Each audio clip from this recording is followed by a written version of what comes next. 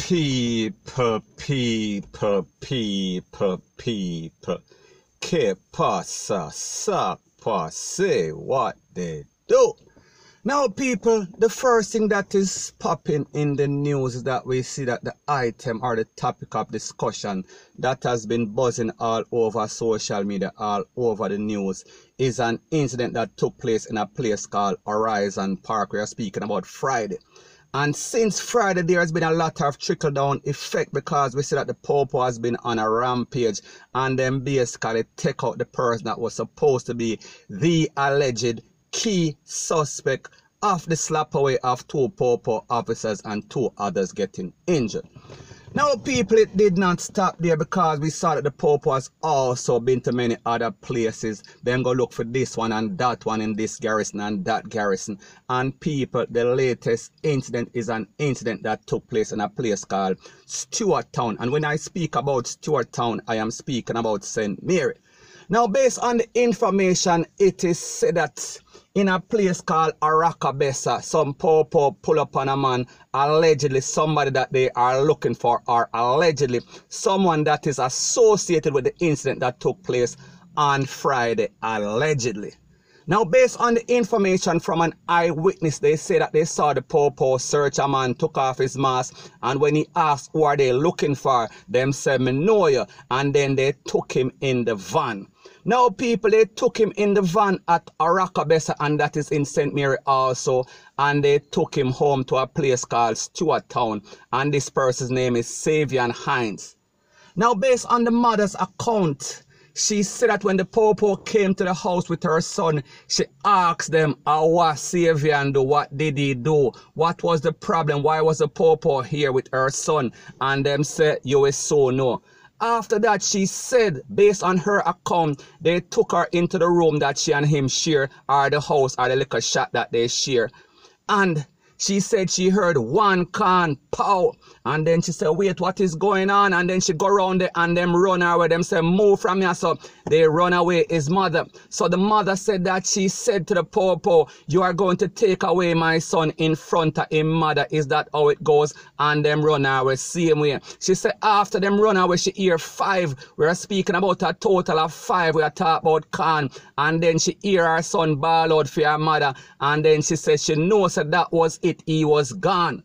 Now people, them take what the body and everything, but based on what the residents in the area are saying, based on what the eyewitness are saying, the cousin said that she saw him in Arakabessa and she even gave him $50. Now, people, when we talk about 50 Jamaican dollar, we are talking about an equivalent to maybe about 40 cents US. So, people, what is a man doing in life and don't have 40 cents USA for basically pay him fear. However, based on what the Popo are saying, he is supposed to be some sort of gangster. He is supposed to be responsible for one of the most infamous cases in a Jamaica late history, wherein four Popo get slapped up and also two passed away. We are speaking about in Horizon Park. So people, if you do the math, something don't sound quite right. So anyways, based on the information, it is is also said that after the mother hear all of the ball hear her son a ball out after the last shot,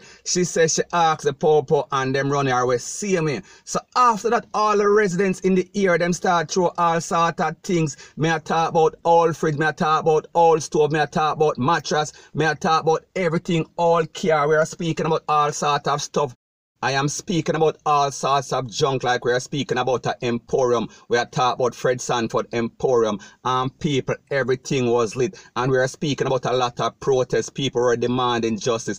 People were calling for income. Now people, when we listen to stuff like this, and we see what has been going on and like I said before I expected the Popo to retaliate and I am speaking about in a very serious way.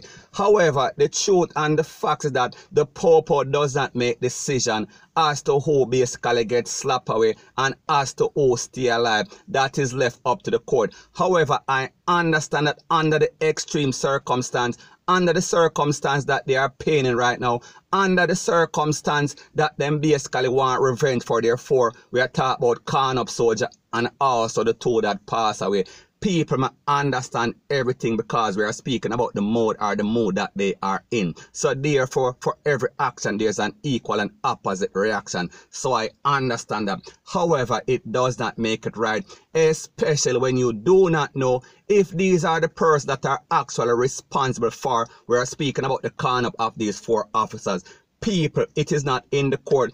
So my point is that we cannot allow the popo to make decisions who are not decision makers under the circumstance that they are stressed out and going through some emotional trauma right now. People, it is always going to lead to all sorts of problem and all sorts of innocent persons getting slapped away and people don't get it twisted, don't get it misconstrued. I understand that Jamaica is going through a phase right now or it has been going through a phase for a very long time and we see so them I get out and we are talking about the gunman because them now ramp for put it on for the popo because based on information that is out there from Indy Command Force, we are speaking about the Popo and JDF.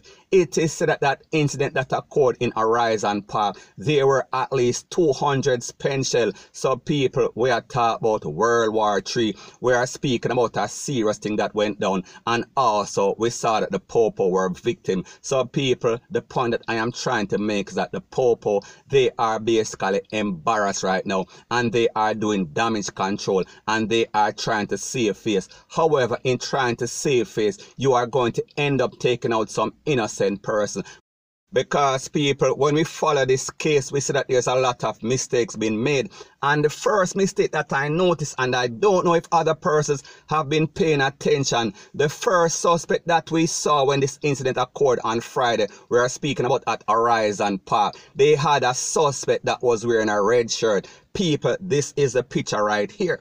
The second person that they claim, Damion Hamilton and people, I am not saying that Damion Hamilton is not guilty because based on the information from the Popo, he was a target, he was a key suspect that they were going for. So therefore, I can understand as it pertains to him.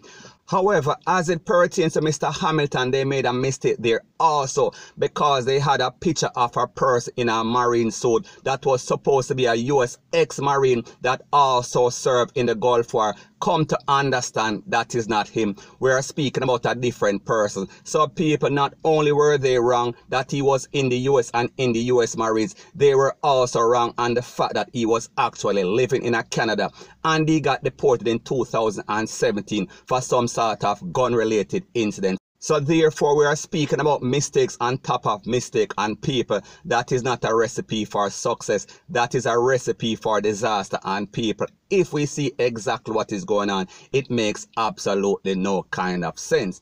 Point blank and period. Now, people, this is my disclaimer. I am not trying to defend when I talk about this young man. I am speaking about Savian Hines. I am just saying that I am defending truth and rights. I am defending justice. And based on what the Popo said, they allegedly found some sort of tool. So, people, did they take him in? We are speaking about in Arakabessa. We are talking about St. Mary. And then took him to Stewart Town at his house. Did they find a gun at that point when they went to the house? And that was the deciding factor if he lived or not. Now, people, basically, we are not going to hear that there's any sort of shootout scenario because, like them said, they had him in the possession of the popo. They had him booked under arrest and took him from one place to the next place. So, therefore, we are not going to expect to hear that cliche talk that basically they came under fire and up and returning fire. This man was held clutching for his life Rete, Lele, Blue, blah, bling. However, the truth and the fact that the fact that they had him in their possession, booked and arrested in a handcuff, there is no way they should have shot him, even if they found a gun. And people like me say, I understand the situation, I understand the mood that this incident took place on Friday, so therefore they are emotional. However, if you are being professional, that is not how it works. That is not justice. That is not in the JCF. Me talk about the Jamaica Constabulary Force protocol of action by the Popo. People that is illegal. People that is unjust. Point blank and period.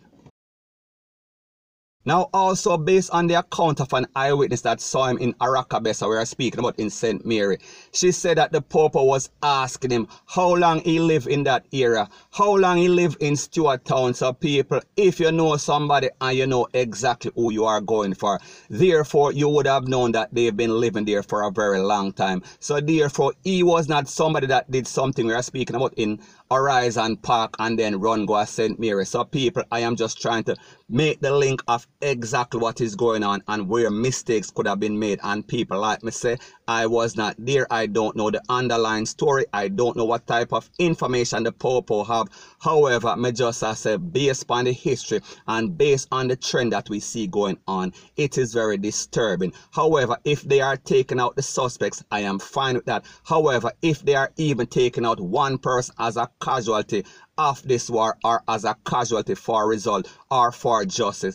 People, it is wrong, point blank and period.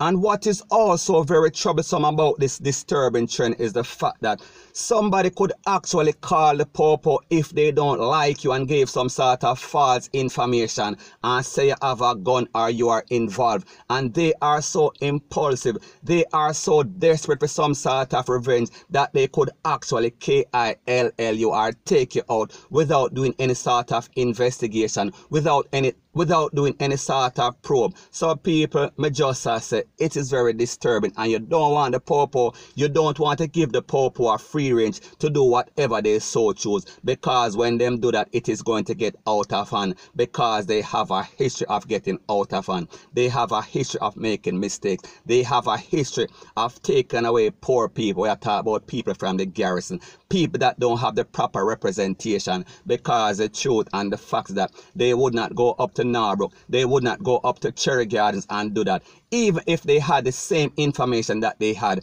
when they went to St. Mary. So people, this is a question.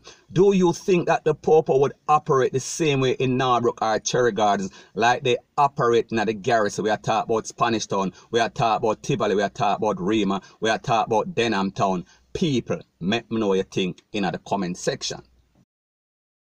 Now, our next big mistake that the Popo also made as it pertains to this incident that occurred on Friday in Horizon Park is the fact that they were parading a picture on social media. It was a picture of a man that was said to be Damion Hamilton, that was said to be a Marine, only to find out that this man is a man that is a taxi man or a hard-working man in Jamaica. That was the actual person in that picture. That was the actual Marine that lived overseas and also served in the U.S. Army people. He was deported from America. Damion Hamilton, he was deported from Canada. So people, we are talking about a big mistake. And if we take into consideration that the Popo is supposed to be an investigative group, they are the person that are responsible to serve and protect the citizens of Jamaica people it is very troubling and like me say this is my disclaimer once again one more again because me know say have the popo tete and the soldier tete them over here and them not understand that this is not the coon channel on this channel may deal with justice. If you're wrong, you're wrong. Me not care at all. If you are the popo, if you are the preacher, if you are the police, if you are the politician, I don't give a R-A-T-S-A-S-S point blank and period. So anyways, people, like me say, it is just my views and opinion. It is not the gospel. Your views and opinion can be respectfully different from mine, but let me know what you think in the comment section. Bless up.